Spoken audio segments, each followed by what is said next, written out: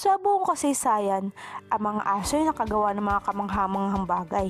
Naliligtas nila ang mga tao, natutulungan nila ang kanilang mga amo, at marami pang iba. Ang mga aso ay kilala bilang man's best friend at madali nating makita kung bakit. At kung tatratuhin natin sila ng tama, sila ay magiging mapagmahal at matapat.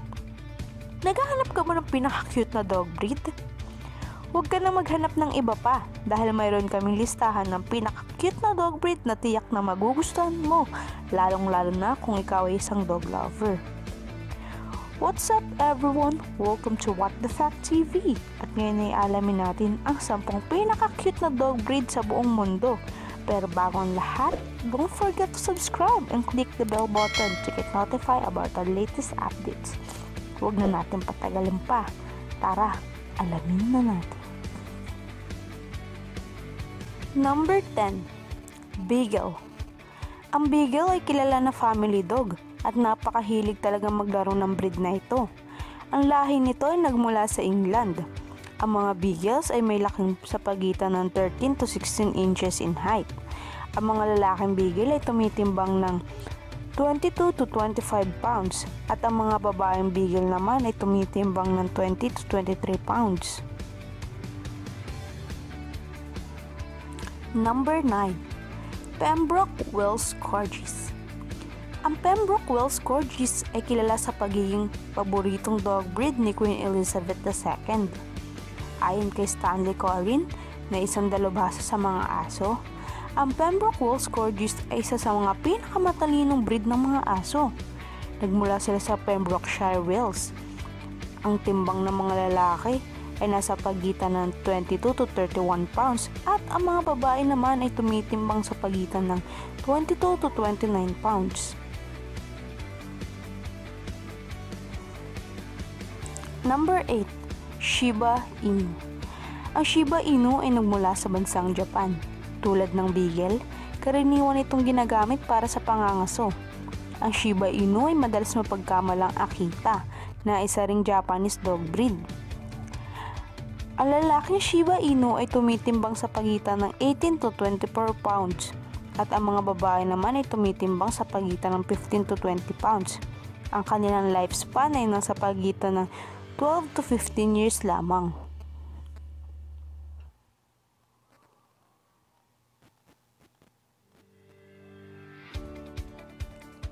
Number 7. Dutch Hunt Ang mga Dutch Hunt ay isang breed ng aso na mayroong maliit at mahabang katawan. Karaniwang kilala sila bilang isang Wiener dogs o sausage dog dahil sa itsura ng kanilang katawan. Maliit man sila, ngunit ang kanilang tahol ay napakalakas naman. Mayroong silang lifespan na 12 to 16 years at ang timbang nila ay 33 pounds. Sa kasamang palad, maraming mga Dutch Hound ang nagdurusa sa isang napakalubhang sakit dahil sa kanilang hindi pangkaraniwang spine ang isa sa apat na doxys nila ay nagdurusa dahil sa intervertebral disc disease or IVDD.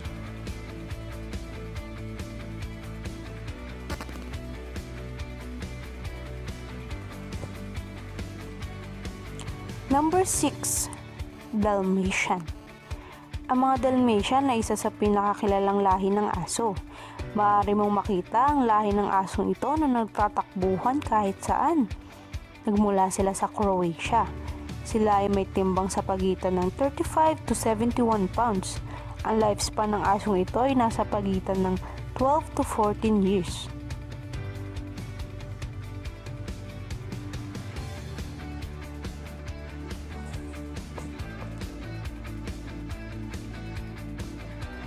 Number 5 Siberian Huskies.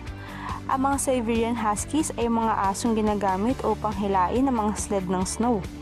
Ang mga ito ay masyadong matalino at kilalang magaling manggaya ng ugali ng mga tao.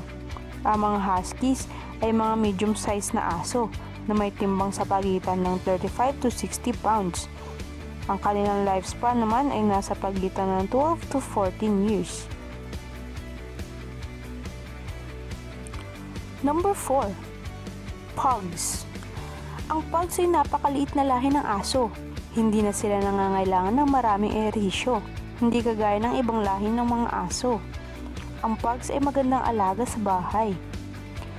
Hindi sila hihigit sa 13 inches height at ang kanilang timbang ay nasa pagitan ng 14 to 18 pounds. Ang mga pugs ay nagmula sa China at ang kanilang lifespan ay nasa 13 to 15 years.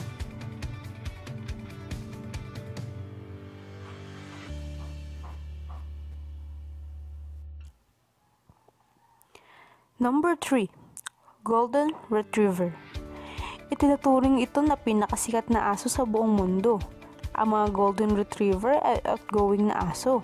Mayroon silang magandang personality at magaling din silang makasama sa lahat ng tao. Gustong gusto ng mga Golden Retriever na maglaro sa labas, ngunit maaari rin silang mapanatili sa loob ng bahay. Ang mga Golden Retriever ay napakalaking aso Tumitimbang sila sa pagitan ng 65 to 75 pounds para sa mga lalaki at 55 to 71 pounds naman para sa mga babae.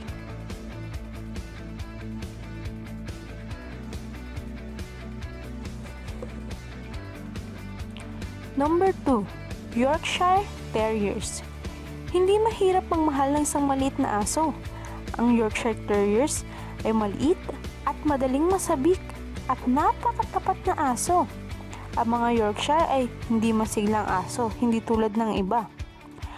Mahal na mahal nila ang kanilang mga owner at galit naman sila sa mga hindi nila kilalang tao. Ang mga ito ay orihinal na nagmula sa England at sila ay hindi lalaki sa 7 pounds.